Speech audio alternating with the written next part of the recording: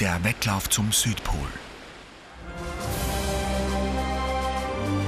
Drei Männer.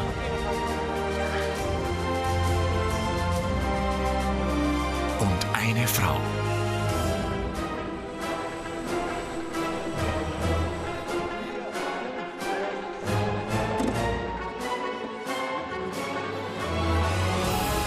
Sie sind ein Team in einem unglaublichen Abenteuer.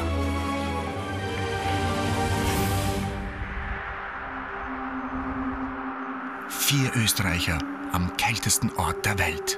Jetzt geht's leicht, jetzt ist kein Wind, aber wenn es windig war, brauche ich länger natürlich, weil ich muss, das, ich muss schauen, dass nichts wegfliegt. In einer Welt voller Gefahren. 400 Kilometer Strapazen. Zu Fuß durch das ewige Eis. Sieht mir jeder blockt sich. Sieht jeder ungefähr, oder mindestens sein Körpergewicht. Bergauf und ist schon zart. Ein Kampf gegen widrigste Bedingungen.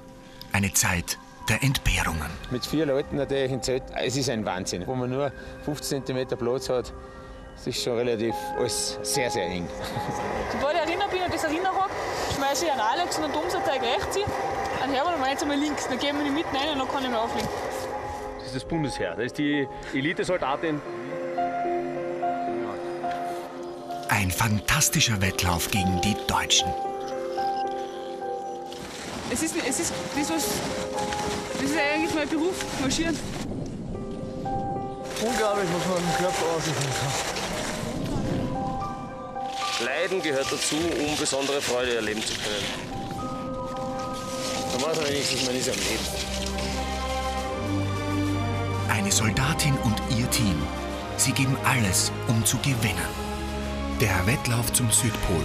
Ab 24. Februar um 20.15 Uhr auf ORF 1.